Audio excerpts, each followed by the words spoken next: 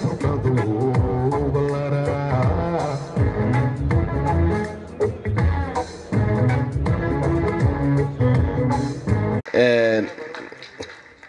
haatanna waxaan soo dhaweyneynaa guddoomiyaha baarlamanka ee dowladda puntland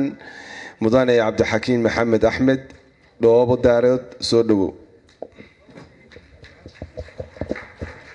ila soo dhaweeya guddoomiyaha baarlamanka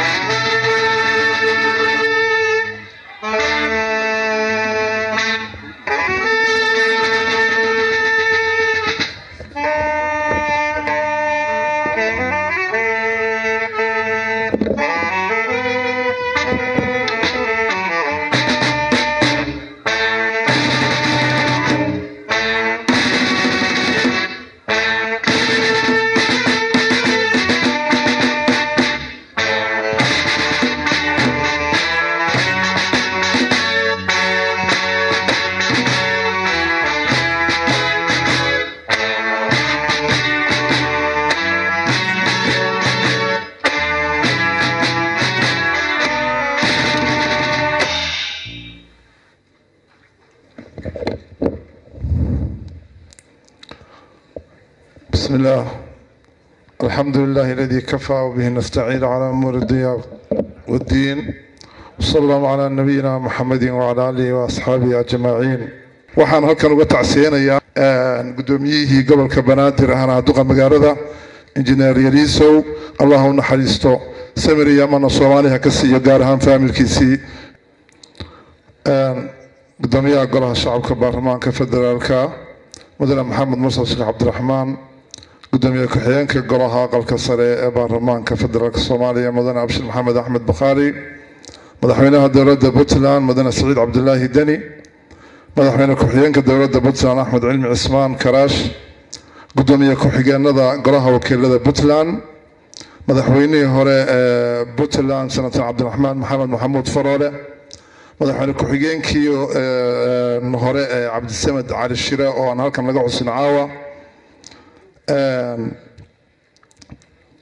xubnaha labada gole ee baarlamaanka dowladda federaalk soomaaliya xubnaha golaha wakiilada puntland kusimaha guddoomiyaha maxkamadda sare golaha wasiirada puntland golaha garsoorka maamulka gobolka iyo degmada safiiro haddii ay jiraan qusuriyadda ethoobiya isimada culimaadudiinka hay'adaha caalamiga ah haddii ay nala joogaan ciidamada qarabka sida dalada ururada bulshada rayidka ururka haweenka ururka suxufiyiinta puntland qurba joogta puntland saxaafadda kooxda fanka iyo suugaanta iyo dhammaan marti sharafta kale ee halkan fadhida mudanayaal iyo marwooyin waxaan idinku salaamayaa dhammaantiin. Salaanta islaamka assalaamu calaykum waraxmat ullaahi wabarakaatu salaan kadib aniga waxay noqon doontaa warkaygu ama khudbadaydu insha allahu bogaadin iyo waxyaaba yaroo aan taaban doono laakiin khudbaddii dowladda insha allahu madaxda iga dambaysa iyo madaxweynaha baa ku hadli doona. Mudanayaal iyo marweyn waxaa sharafay noo ah inaad nagala soo qayb gashaan munaasabadan taariikhiga ah ee xuska sanad guuradii koo iyo labaatanaad ee ka soo wareegtay asaaskii dowladnimada puntland. Waxaan madaxda heer federaal iyo marti sharafta kaleba uga mahad celinaynaa ahmiyadda ay siiyeen xuskan iyo ka soo qaybgalkooda. Waxaan ugu iyo boga anigoo ku hadlaya afka golaha wakiilada. Waxaan ugu horeyn hambaliyo iyo bogaadin halkan uga dirayaa dhammaan ummadda soomaaliyeed gaar ahaan shacabka dowladda puntland anoo ugu hambalyeynaya munaasabadan taariikhiga ah ee xuska koo iyo labaatan sano guurada ka soo wareegtay dhismihii puntland. Waxaan leeyahay hambaliyo hambaliyo hambaliyo ilaahayna waxaan ka rajaynayaa inuu sanadka sanadkiisa ina ku gaadhsiiyo nabadgelyo horumar iyo barwaaqo. Waxaan si gaar ah munaasabadan ugu xusayaa asaasayaashii puntland madax dhaqameedkii siyaasiyiintii saraakiishii ciidamada aqoon-yahankii haweenkii iyo dhammaan intii ka qayb qaadatay. Waxaan leenahay intii dhimatay allah naxariisto inta noolna meel kasta ay joogaan waxaan rajaynaynaa guul iyo caafimaad. Waxaan bogaadinayaa ciidamada qalabka sida oo mar walba u taagan ilaalinta iyo difaaca dalkooda iyo shacabkooda uguna dulqaata duruufo badan oo soo wajaha. Waxaan alle uga baryayaa inuu u fududeeyo kuna guuleeyo waajibaadka qaran ee ay u hayaan ummadooda sidaan wada ogsoonnahay puntland waxaa la asaasay sannadkii kun boqol sagaashan iyo sideedii taas oo ay sababtay baahi weyn oo loo qabay dhismo maamul dowli ah oo laga hirgeliyo deegaamada puntland kadib markii ay burburtay dowladdeena dhexe ee soomaaliyeed. Himilooyinkii iyo ujeedooyinkii ugu waaweynaa ee dhismaha puntland laga lahaa waxaa ka mid ahaa sidii aynu dib ugu soo ceshan lahayn qarannimadii iyo midnimadii ummadda soomaaliyeed iyada oo loo marayo nidaam federaali ah iyo dib u heshiisiinta bulshada ay kala kaxayeen dagaaladii sokeeye si arrimahaas loo gaaro waxaa bulshada puntland ay dhidibada u taageen maamulka puntland ee aan asaaskiisa caawa xusayno kaasoo ay ku heshiiyeen dadweynaha gobollada puntland oo dhammi ama deegaanada puntland oo dhammi nasiib wanaag muddadii ay puntland jirtay waxaa lagu guulaystay inay puntland hormuud ka noqoto dib-u-egleeridii qarannimadii soomaaliyeed ee burburtay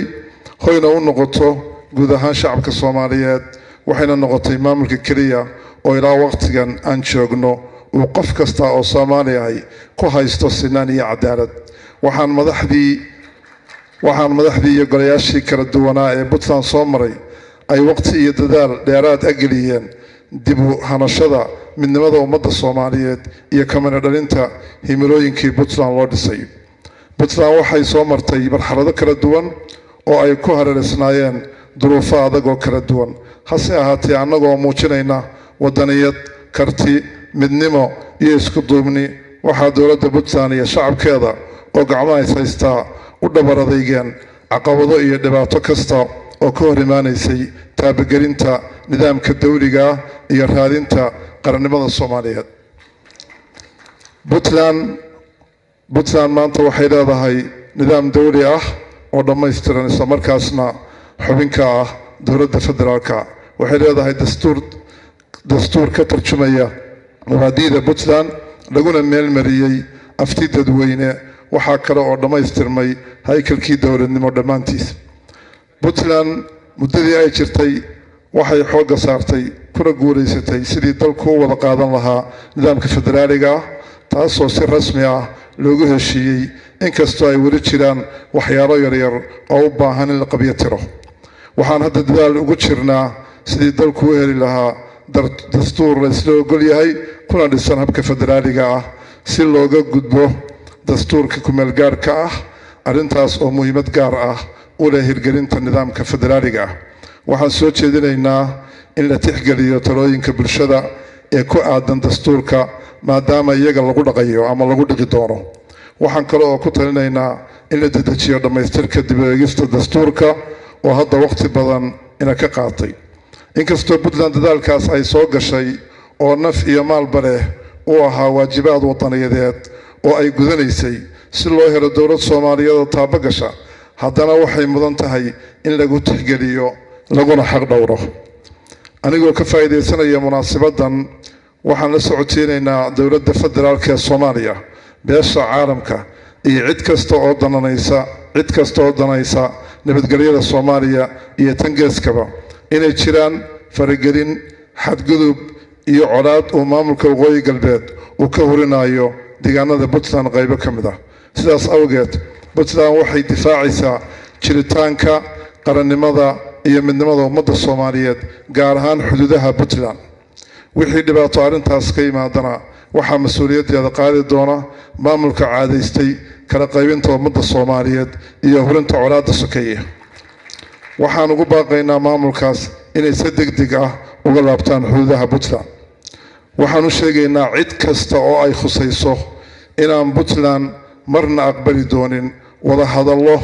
u dhaxeeya soomaaliya iyo maamulka waqooyi galbeed oo aanay dowladda puntland dhinac ka ahayn ama aan lagala tashan. Sababta oo ah maamulkaasi wuxuu duulaan ku yahay qaybo ka mid a deegaanada puntland isagoo ku wiiqaya qarannimada iyo midnimada ummadda soomaaliyeed. Waxaan ugu baaqayaa xubnaha laga soo doorto puntland kana mida baarlamaanka labada aqal ee dowladda federaalk ee soomaaliya inay gutaan waajibaadka ka saaran arrimaha masiiriga ah ee gobollada puntland ee loo doortay kana hadlaan xadgudubka somalilan iyo qaabka loo marayo wadahadallada u dhexeeya soomaaliya iyo maamulka waqooyi galbeed. Arrimahaas oo sidaan sheegnay si gaar ah u khuseeya puntland. Waxaa jira muddooyinka dambe khilaafyo baahsan oo soo noqnoqday una dhexeeya dowladda federaalka soomaaliya iyo dowladaha xubnaha ka ah dowladda federaalka. Waxaan soo jeedinaynaa in khilaafyadaas lagu dhammeeyo wadahadal iyo isu tanaasul lana tixgeliyo sharciga nidaamka federaalka iyo xeerarka dalka u yaalla loona turo shacabka tabaalaysan ee muddada dheer la daaraadhacayay dhibaatooyinka ay keentay dowlad la'aantu oo dhinac walba leh.